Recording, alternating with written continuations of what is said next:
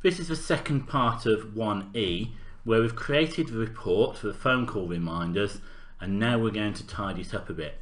First of all we need to make sure that we've incorporated the house style. But before thinking about the house style it's probably better to get all the data right because then you don't have to do the house style twice. So we'll go through and we'll have a look. It would be useful if we had a title every time there was a church, a new church, and every time there was a new booking. So what we'll do, in the church header, so there's a church ID header, we'll just move this down a little bit and we'll put a title for church. And remember we'll use a label rather than a text box and then we'll know that this is a new church.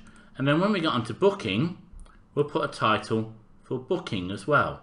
So we know we've moved on to a booking. So here's our title. Booking. Now, what we're also going to do is just have a look at some data we don't need. This summary, we don't need all that text. that says summary 4 and here summary 4. That's just not necessary. But it is useful here where we've got sum, instead of having the word sum, if we actually say what this is the total for, well this is the total for the booking because if you look it's in the booking ID footer. So I'm going to put here total for booking. And I'm going to do the same for the church ID footer. I'm going to put there total for church or I could put total owing for church. Uh, I'll leave grand total as it is, that's absolutely fine. But for each of these calculations, you can see at the moment it's only adding up the price charged, but we need to include the quantity. So for each one, we also need to multiply by the quantity, like that. What I'm going to do is I'm just going to copy and paste each of those, just make this uh, back to its normal size again. And it's just like the calculations that we've done before. Unfortunately the real tasks have a lot of repetition in them as well. And now what we'll do is we'll have a look at our report so far. So we can see church and then we've got information out of church then we've got booking we've got data for the booking total for booking a new booking okay, and the total for the booking let's have a look is this correct three lots of 60 is 180 pounds Two lots of 100 is £200, plus 110 is £310. So it looks like all of that is adding up right. Now we need to sort out our house style. So just a few reminders that if you haven't used Access since last time, you'll need to go back and set your colours. So we'll go for 238, 250, 180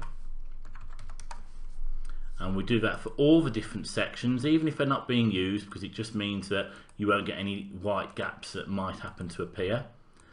And then of course what we need to do is we need to look at the alternate rows as well. So for each section where you can set an alternate row color you need to do that um, we probably don't need the date and the time but I'm just going to leave them on there anyway because they're not doing any harm and what we'll do now is look at the alternate rows so we'll change our alternate row color to be that color. And remember, just keep doing that and repeating it for each of these so that they're all the same and we don't get any problems with the alternate rows. That should be enough. I'm going to use Control A to select everything and change it to Times New Roman. Uh, what I'm going to do is change them all to 12 to start off with and all to black and then I can work on the ones that matter. So this one needs to be red because it's a title and it needs to be 24 and it needs to be bold. And church and I'll use control to select booking as well. They need to be red, underlined and 14. And what you'll find now is that this report is a lot easier to read. This has just become truncated so let's sort that out. Contact mobile telephone just about fits. Price charge just about fits. So we're okay. Seems to be okay with most of our data there.